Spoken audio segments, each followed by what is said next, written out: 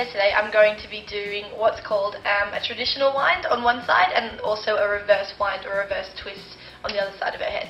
So it's very easy to do. First of all, you need to have lovely washed straightened hair, just like Carly's is here.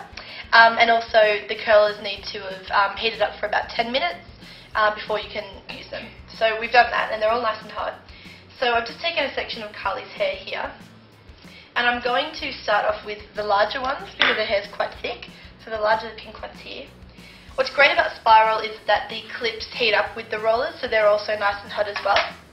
So for a um, traditional wind, you start with the uh, ends of the hair and roll inwards towards the scalp. So I'm just going to roll Carly's hair in, just like that.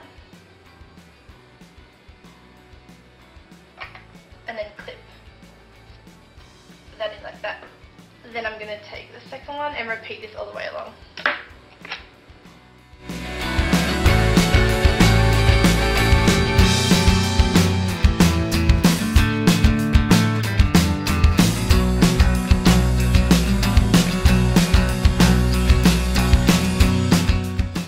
So I've done the uh, traditional wind on the right hand side of Carly's head. Now I'm going to have a go at doing the reverse wind or the reverse twist on the other side. Um, now it's done very similarly to the traditional. All we do here is instead of starting at the ends of the hair, we actually start at the scalp and twist it around.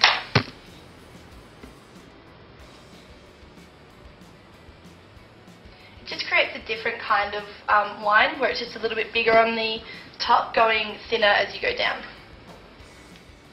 So now that I've got the top half of Carly's gorgeous clips in, uh, we're going to let them cool down for about 15 minutes and then we're going to take them out and show you the final result. Hi beauties, Liv and Carly back again. Um, we've left Carly's rollers in for about 15 or 20 minutes and we're just going to take them out now and see what we've got. So, so this is the side where we did the traditional wind and as you can see it's kind of very beautifully glamorous, kind of voluminous up the top and just with some beautiful flicks and and um, I've given it a bit of a shake with my fingers so it's dropped a little bit but it's absolutely beautiful.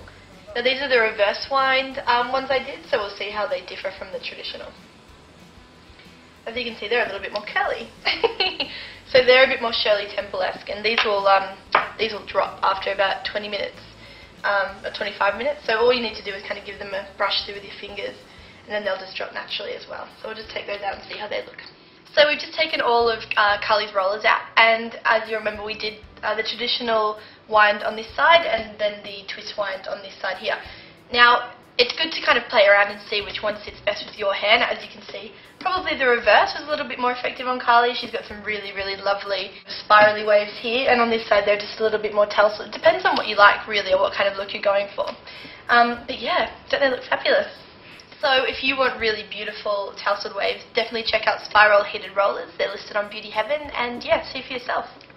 Bye.